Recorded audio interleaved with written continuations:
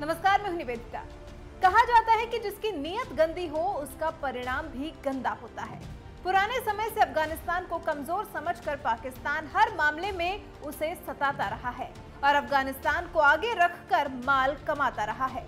लेकिन कहा जाता है कि जब आँख खुलती है तो कमज़ोर भी बादशाह को धमकाने लगता है और नुकसान भी पहुँचाने लगता है। ठीक वैसे ही अफ़गानिस्तान और पाकिस्तान के साथ हो रहा है और अब अफ़गानिस्तान पाकिस्तान को चोट पहुँचा रहा है। लेकिन अफ़गानिस्तान का आरोप है कि उसके देश में मौजूद अराजक तत्वों को पाकिस्तान शह देता है और परेशान करता है।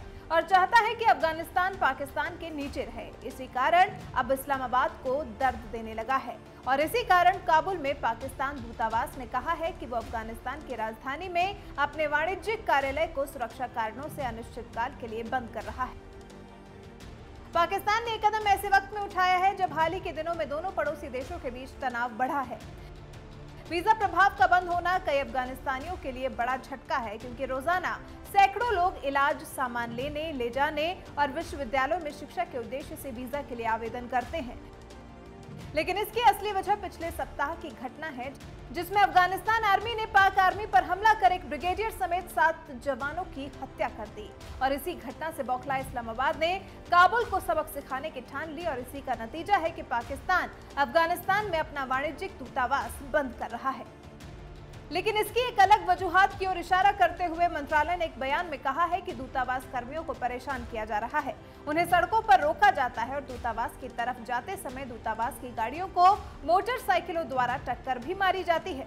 पाकिस्तानी दूतावास के बाहर प्रदर्शन भी आम बात है और ये कई बार इसलिए भी होता है क्योंकि लोग वीज़ा के लिए लंबे इंतज़ार के समय या फिर सुरक्षा जाँच के लिए लंबी कतार में खड़े होने से नाखुश होते हैं। इस्लामी गणराज्य अफ़गानिस्तान और पाकिस्तान के बीच हाल में कुछ वजहों से रिश्तों में कड़वाहट देखने को मिली है और इनमें से एक ये भी है कि अफगान मानते हैं कि पाकिस्तान कथित रूप से तालिबान का समर्थन करता है, जो हम पहले आपको बता चुके हैं।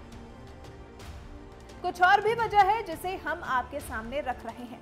पाकिस्तान का मानना है कि अफ़गानिस्तान दूसरे देशों के साथ वही करे जो मैं कहूँ, जबकि इस बात को लेकर अफ़गानिस्तान इनकार करता रहा है। पाकिस्तान को मिर्ची तब ज़्यादा लगती है जब अफ़गानिस्तान भारत के साथ अपने संबंधों को और प्रगाढ़ करता है।